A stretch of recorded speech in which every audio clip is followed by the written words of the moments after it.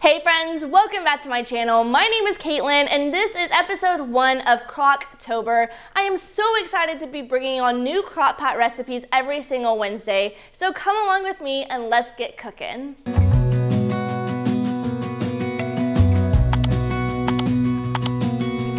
It might still be 80 degrees in Texas, but this ham and potato soup is the perfect dish to have you dreaming of cooler weather. The night before, I prepared one cup of diced onions and five celery sticks, along with six small potatoes. If you cut your potatoes the night before, make sure that you place them in water so they do not brown. For the ham, I'm using one cubed ham packet that I picked up at Kroger, and I'm just making sure to break this apart so it's not just one big clump. For your broth, you will need 3 cups of vegetable broth. With this broth, I had a decent amount left when I was dividing out my leftovers. Add in 3 cloves of garlic. Seasonings are our basic onion powder, pepper, garlic salt. We're going to cook this on low for 6 to 7 hours or until our potatoes are fully cooked. Mine took about 6 hours. With the last 30 minutes, we are going to combine 2 cups of milk to 2 tablespoons of cornstarch. This will add as a thickener for our soup. Pour this in and cook on high. I did mine for about 10 to 20 minutes just until it was completely thickened.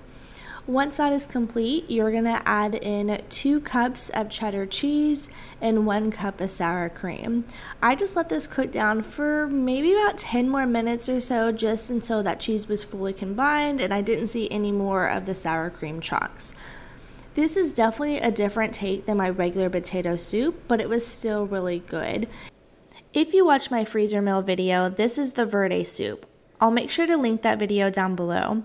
I just thawed this overnight in the fridge and added in 4 cups of chicken stock. Stir this together until everything is fully combined and cooked on low for 4 to 6 hours. Mine took about 5 hours. Once our chicken is cooked, I just took it out and shredded it with a fork. Add it back in and finish this off with 3 tablespoons of cornmeal and the juice of 1 lime. I just stirred this together until the cornmeal was fully combined. Now, something about this tomatillo base was so good. I've never had a soup like this. I almost thought it would have a resemblance to my taco soup, but they were completely different. This was so good, and I would definitely recommend trying this one. I just added a little bit of cheddar cheese to mine, and we had this for leftovers the rest of the week. For this Italian soup, I prepared my veggies the night before. You're going to need one medium onion, 3 carrots, and 1 medium red bell pepper. For our sausage, I'm using 1 pound Italian sausage from Kroger. Now you can cook it before, but it is not mandatory. So I'm just going to add everything into the crock pot. For our canned items, you'll need one 19 ounce drained white beans, one 28 ounce diced tomatoes with the juice, and 4 cups of vegetable broth. Our seasonings are four dashes of Italian seasoning and one tablespoon of garlic powder, salt and pepper to taste. Cook this on low for six to eight hours with about 30 minutes left, add in one cup of pasta. Now, you can use uncooked pasta and let it cook for about 10 minutes in your crock pot, but I just went ahead and made mine on the side. Add in your spinach with a few minutes left, and this dish is complete. Now, I will say for the Italian sausage, I do wish I would have cooked my Italian sausage before, just for the fact of it would have been a little bit more ground up. Did not make a difference as far as it being too greasy. It turned out perfectly fine. Again, from our freezer meal video, this is the beef stew. So I just thawed mine overnight and then we are going to be adding in seven cups of beef broth, cooking this on low for eight hours.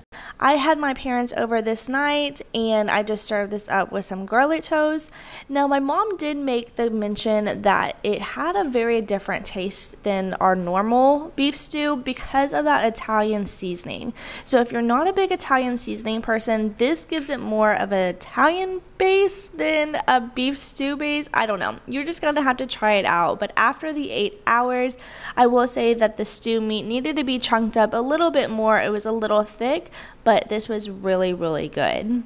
I cannot believe how easy these soups were to put together. Don't forget, every Wednesday of October, I will have brand new crock pot recipes for you guys. But if you need a dessert to go with these soups, check out last Sunday's video of episode one of our fall inspired dishes. And I will catch y'all next Sunday for episode two. Bye!